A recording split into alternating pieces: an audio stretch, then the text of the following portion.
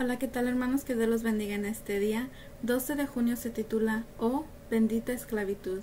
Primera de Corintios capítulo 7, verso 22. Porque el que en el Señor fue llamado siendo esclavo, liberto es el Señor. Asimismo el que fue llamado siendo libre, esclavo es de Cristo.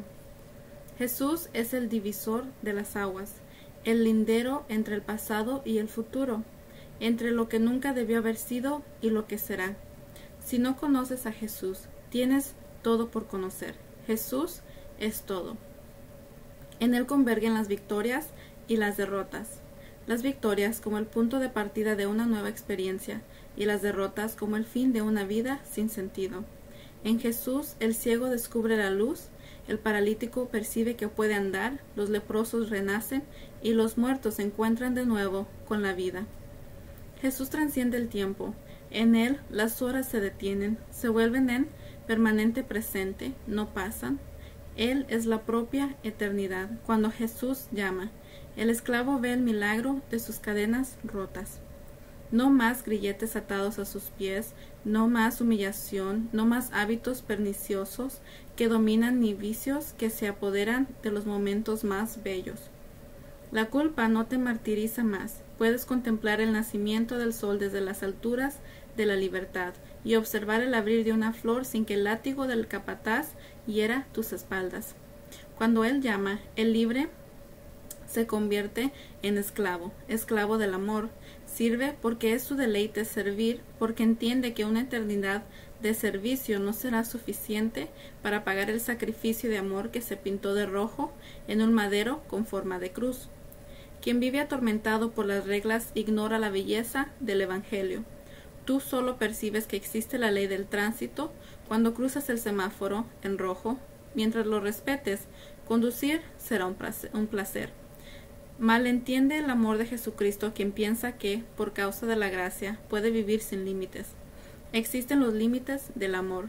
Son horizontes sin fin de una existencia abundante para quien respeta las leyes de la vida en este conflicto entre el bien y el mal. Por eso hoy enfrenta los desafíos de un nuevo día, reconociéndote esclavo del amor. Sirve a tu Dios, ayuda a tus semejantes, haz felices a las personas que viven a tu lado y que a veces perecen que falta un gesto de cariño. Nunca es tarde para comenzar de nuevo siempre está abierta la posibilidad, posibilidad de cambiar el rumbo de vida, porque el que en el Señor fue llamado siendo esclavo, liberto es del Señor.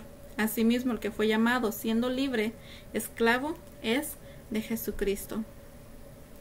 Hermanos, el día de hoy yo los quiero animar a que reconozcan quiénes somos, que los conozcamos quiénes somos verdaderamente en Cristo. Aquí nos dice que si somos llamados, nos convertimos en esclavos de Jesucristo, no en una forma de esclavitud como antes, que es pesada, que no nos gusta, sino como nos dice aquí, una forma de amor, esclavos del amor, amor de servir a nuestro Dios, amando a nuestros prójimos, sirviendo en la iglesia, y ese tipo de esclavitud es lo que necesitamos para que nosotros verdaderamente sirvamos a nuestro Dios, ser esclavos del amor, porque Dios es amor. Y si Dios no está en nosotros, no podemos tener amor para con nuestros prójimos. Recordemos de que si Dios está en nosotros, nosotros vamos a poder demostrar ese amor a otras personas,